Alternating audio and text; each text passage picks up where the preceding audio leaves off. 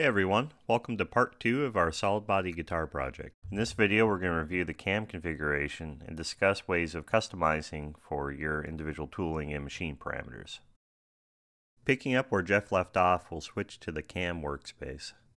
In this workspace we can see that I've already set up operations for the front side and back side, as well as work holding and electronics cover. Let's start with the back side.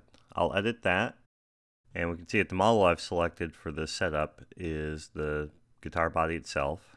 I've picked a Z edge as reference, and you can see that the Z arrow is pointing up. X and Y are in the back left-hand corner of the piece as viewed from the front of the machine, with X and Y increasing in value from the origin. So this is a pretty typical top of the workpiece, top of the stock setup.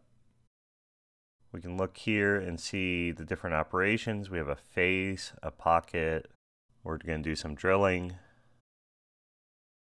And you can see those are just slight drills to mark where the hole should go. And then we have a spiral, which uh, is going to be a 3D operation. Starting with the face operation, you can see here that instead of a face mill, we're using a flat end mill, quarter inch which is not the optimal tool for speed, but this is one tool that'll let us do pretty much all the geometry using just the one tool and minimizing tool changes. You can see here whenever you select a tool, even if it's the one you're currently on, you need to reprogram the spindle speed and uh, cutting feed rate, uh, as well as the other feed rates. That's kind of an attribute of Fusion's CAM workspace in that it doesn't really know what we're machining and so I think it kind of has a default assumption of steel, which can have some pretty wacky feed rates from a woodworking perspective. The step over, we see here we have a value here that's just a bit less than the cutting diameter with the machining time right now of uh, five minutes.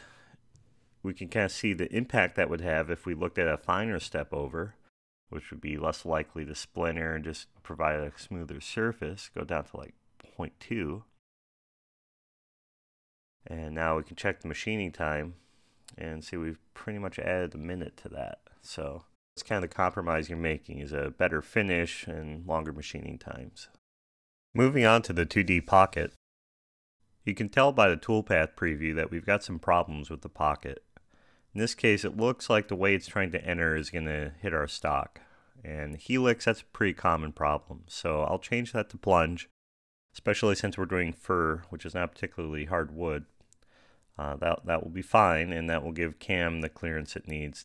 And now we can see that the toolpath is blue, which indicates uh, it's cutting and there's no problems. For the drilling operation, there's not too much to say here. It's going to take on the diameter of the cutting tool you use, of course.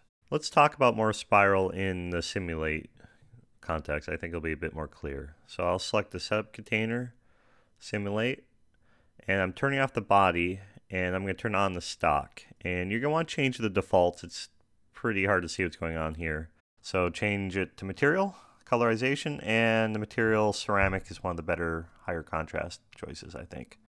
I like to turn off the toolpath preview. Of course all of this is up to you and your preferences. Uh, this to me gives me a better view of what will happen on the machine. And that's primarily all I want of uh, the toolpath preview. And so we can see we're doing the face operation. This is going to look pretty much identical to what happens when we actually record the machine operations on the real thing. I'm going to speed this up so we can get through this. We kind of get what's going on. We're doing the 2D pocket now for the electronics cavity. And we can see as we get to the bottom, we leave these big ridges. And that's why I have this morphed spiral here, this 3D operation. My thought is the components will fit more flush and better if we have a nice smooth surface in that cavity. So that's all why that's there. Uh, we could get away with a lot less, but since I'm doing these as a small number of bodies, uh, the extra machining time is not a severe penalty. So switching to the front side, we can see that we've got quite a bit more going on here, and that's of course due to the contoured top. First, I'm going to lead with an adaptive clearing, and that's going to remove the vast majority of material there. Adaptive clearing is a very powerful and efficient strategy and really only requires a few inputs. The important thing, of course, is that we leave stock behind because this is a roughing step and we're going to come back with the final contours. The next operation, horizontal, will provide a smooth mating surface. Horizontal will give us a neck mating surface and pocket, looks like we have a problem there, but let's talk about parallel for a minute. So parallel is interesting. You can see that we're not just sculpting the top, but we're sculpting the bottom of those pockets. So we can go to the avoid touch surfaces interface and add those faces. And now we're skipping over that, but we're still hitting the neck pocket, which don't really need to do. So we'll hit the avoid surfaces and we'll avoid that one too. Now we should be left, yes, with a tool path that is only going to sculpt the top of the guitar body, and that's really all we're looking for it to do. Uh, now, going back to Pocket, uh, looks like we're only getting one of the pickups, so we'll select the profile of the second. Let's talk about that innocent looking red arrow. So I think this gets a lot of people tripped up early on, but that arrow is essentially meant to point in or outside of the profile. Obviously we want it in, but if you ever select a profile and find that it's selecting the wrong side, it's just toggle that arrow and you'll probably be good. The second thing I'm noticing is that I only have one pass for the pockets, and of course that'd be incredibly aggressive. So let's change that to multiple depths, something like a quarter inch should be fine as a depth of cut. There, that looks much healthier. We already fixed up the parallel operation, that looks good. We've got a 2D contour here for the electronics cavity uh, access hole for those components. And finally, we have a 2D contour for the overall profile of the guitar done in a sturdy half inch end mill. Let's take a look at our overall machining time. We'd expect this one to be, of course, the longer one, but let's just see how long. Hour and a half. So simulating this like we did the backside, uh, we can kind of walk through the operations and just see if there's anything either sequentially or just bad and wrong that we can see. So the adaptive clearing looks good. Of course, pretty logical, and there's not too much we need to do to configure it, so I wouldn't expect there to be anything wrong there. And you may not be able to hear it, but my computer is actually ramping up its fans. This is not a lightweight activity. As you can probably tell, we're doing the 3D parallel sculpting now. And that's going to leave a very nice finish, I think. And we won't need to sand the top very much at all. That looks pretty good. You can see we're hitting the edge of the stock a little bit, but I think that's okay. And uh, we're going to go ahead and cut the thing out. You may have seen from the preview previously, we do have tabs in there. So the guitar body will be kept in the stock. Won't fly about and get damaged. So we'll turn back on the body. And let's take a look now at the work holding.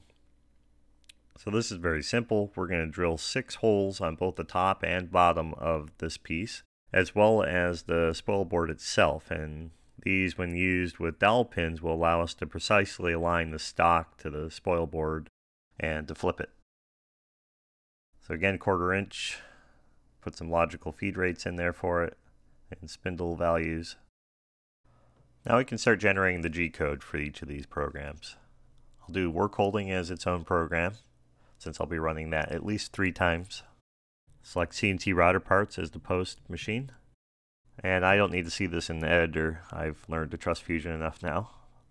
I'll change the name to something that's logical to me. Maybe like solid guitar, work holding, and if it's just one tool in the program, I usually just put a dot and then the, know, if it's a 0.25 inch, I'll put dot 25. I'll do the same for the back side. Now you can notice I'm only selecting the setup container. I could also multi-select the operations under it if I wanted to hand pick some to be part of the same program. In this case, I want them all to be there, so I'll just select the whole container. Name that solid guitar dot backside. And same thing for the front. We'll go to post process. It will remember the settings we used before and we'll change that to a name that kind of fits our naming strategy here. Join us next time as we run this program on our Benchtop Pro CNC machine.